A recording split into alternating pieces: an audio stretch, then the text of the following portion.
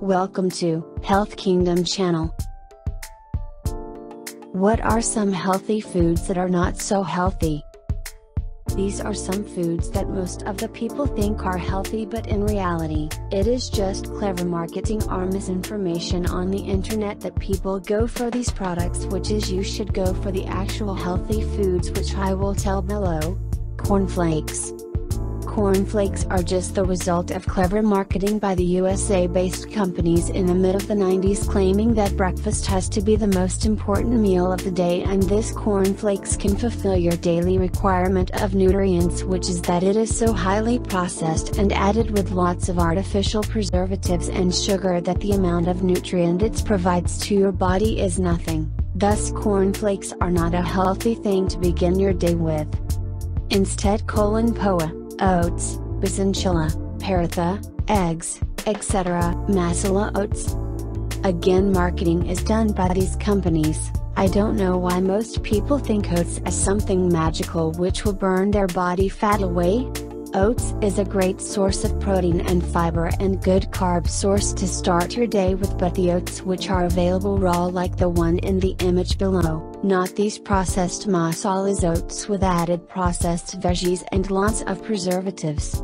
If you want to have masala oats cook it by yourself by watching any YouTube video about how to cook masala oats. Thus don't go for these masala oats.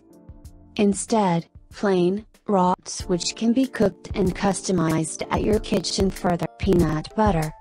Now again when someone is new to healthy lifestyle the other thing they pick is the peanut butter that is available on the market, which certainly looks like this. Now, this peanut butter is just not made up of from the peanuts, it has added hydrogenated oils, preservatives, salt, sugar, and certain emulsifiers which in turn totally spoil the benefits or the essence of the peanut butter. Now by this, I don't mean that it is some kind of poison but when we talk about healthy foods this processed peanut butter doesn't qualify. Instead, the best peanut butter you can have is the natural peanut butter which made up of using only good quality peanuts, whole wheat bread, Atta bread or brown bread that is mostly available in the markets is not a whole wheat bread or atta bread, actually, it is a scam since making bread out of whole wheat is not feasible to many companies due to multiple reasons, which is why they add refined flour which is made in the bread and sell it as atta bread, even you can have a look before buying the bread that refined flour is added in the ingredients list. Instead, purchase the bread which is completely made up of whole wheat by going through the ingredients list of the bread. Multigrain biscuits. Multigrains biscuits are not healthy as they are also made up of using refined flour made only with some amount of using multigrain flour which is just another scam. Instead, Go for any other biscuit if you want like Parle-G or Atta biscuits or any other normal cheap biscuit but remember not to overconsume it, but don't consume these multigrain biscuits thinking that these are something healthy. Processed meats.